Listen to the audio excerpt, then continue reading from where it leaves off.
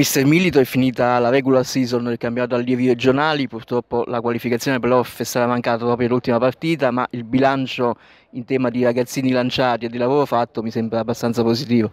Direi che è nettamente positivo. Considerati i presupposti di inizio stagione, non possiamo che essere soddisfatti ed orgogliosi di questi ragazzi che peraltro sono alle nostre spalle e stanno regolarmente allenandosi come se nulla fosse accaduto. C'è ovviamente una, una grande malinconia per l'occasione eh, fallita, però sicuramente il loro impegno non verrà meno in questa parte finale della stagione, anche perché abbiamo intenzione di proporli anche nella categoria superiore, dove ci auguriamo possano essere di supporto alla squadra juniores e perché no anche in vista della prossima stagione pure per, per i grandi, quindi per la prima squadra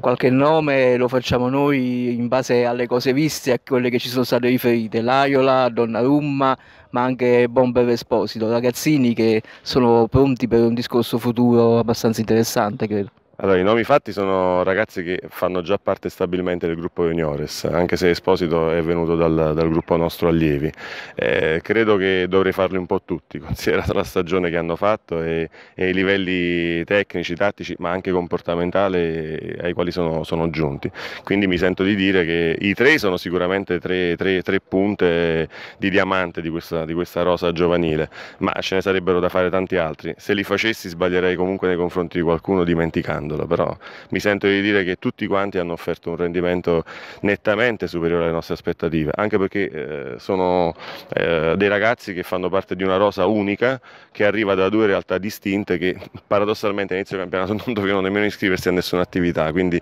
se pensiamo al rischio che abbiamo corso di perdere, non dico dei talenti, ma dei ragazzi che sicuramente meritano di fare, di fare sport perché hanno ben compreso il senso del gruppo, il senso di appartenenza dei colori sociali. E voglio citare che domenica, pur pur avendo perso uno spareggio in casa, sono stati forse non esemplari sotto l'aspetto tecnico perché purtroppo la partita si è persa, ma sotto l'aspetto comportamentale hanno riscosso il successo anche del, de, della tifoseria ospite, conquistandosi anche i loro meritatissimi applausi perché sono stati sotto l'aspetto disciplinare veramente encomiabili.